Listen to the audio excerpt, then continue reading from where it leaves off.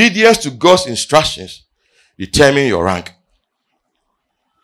How did Jesus get the name above all names? That journey.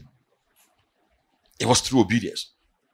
Obedience to the will of the Father, obedience to the instructions of the Father, moment by moment. Moment by moment.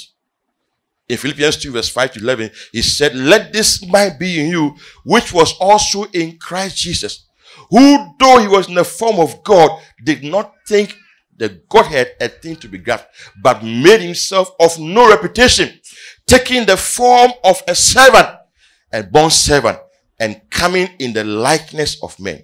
And being found in appearance as a man, he humbled himself and became obedient. Obedient to the point of death. Even the death of the cross. Wherefore, God also has highly exalted him and given him the name which is above every name. The name, the name. That at the name of Jesus, every knee should bow. Now, how did he get there? Obedience. Obedience adds to your rank and subtracts from your rank. Do you know sin cannot cancel God's purpose? Obedience can, disobedience can cancel God's purpose for your life unwillingness to submit to God's process. Disobedience. Now, look at Jesus. Do you know, Bible says in Hebrews uh, 5 8, that even though he was a son, yet he learned obedience by the things which he suffered. When he says he learned obedience, it means he learned submission. Submission and obedience, they are the same submission, and obedience, they are the same. That's the way to authority. Unless you are submitted to something and obedient to something, you will never walk in authority. Because authority is not in a vacuum. Now, when Jesus Christ came, he was born as a son. There are four, four stages or four areas where he was called son. He was born as a son. But when he went to Jordan, to be baptized. He had been following the Father for 30 years. Obedience to God's timing. 30 years. No ministry, no nothing. Just following process. When he showed up in Jordan, the father said, This is my son, in whom I'm well pleased. And he had not done any work of ministry. He had just been following the father the father's program. That built, that built his stature. That he learned obedience through the things he suffered.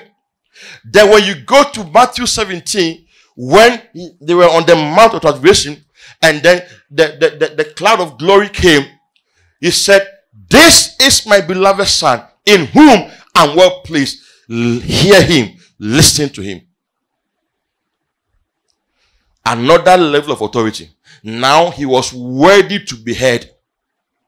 Now God himself said, now my son is ready for you to listen to him. Why? After this time he had been tested.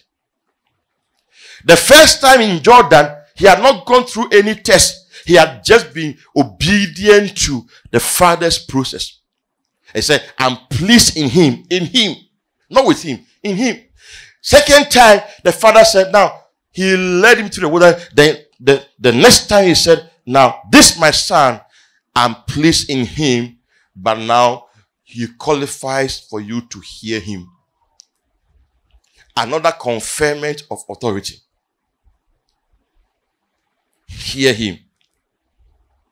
So he was born a son, baptized as a son, confirmed as a son.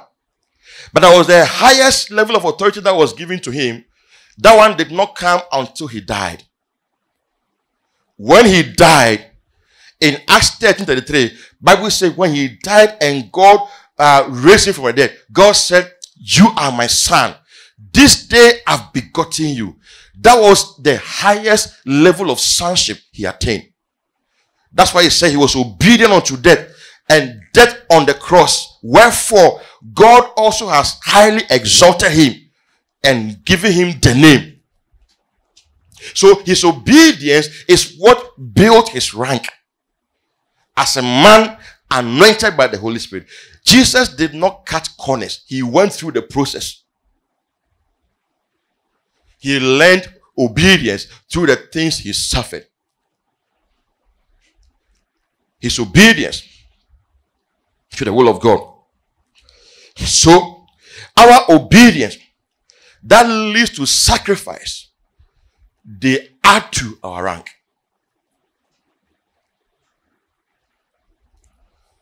They add to your rank. Not only sacrifice, not just sacrifice. Sacrifice that is not done out of obedience or love, you are just hurting yourself. But sacrifice done in obedience will add to your rank. They, these are things that determine rank in the in the kingdom. Obedience was so important that he had to learn it by experience. Any obedience that does not cost you, the level, the degree to which the obedience costs you, the degree to which it can be added to your rank. That's why anytime Paul was challenged, anytime Paul's apostleship was under threat or challenged, Paul didn't point to the anointing on his life. He never pointed to the anointing on, on his life. How he raised the dead. How he, he cast out devils. How he healed the sick. Do you know how I've raised the dead? I'm an apostle because I've raised the dead. No. Look at Paul's credentials. Second Corinthians 11 verse 22. Look at Paul's credential. When Paul's apostleship was challenged, look at his credential. He said, Are they Hebrews? So am I. Are they Israelites? So am I. Are they the seed of Abraham? So am I. Are they ministers of Christ? I speak as a fool. I am more in labors, more abundant, in stripes, above measure, in prisons, more frequently, in deaths, often. From the Jews, five times I received 40 stripes minus one. Three times I was beaten with rods. Once I was stoned. Three times I was shipwrecked. And night and a day I've been in the deep. In journeys, often. In perils of waters, often. In perils of robbers. In perils of my own countrymen.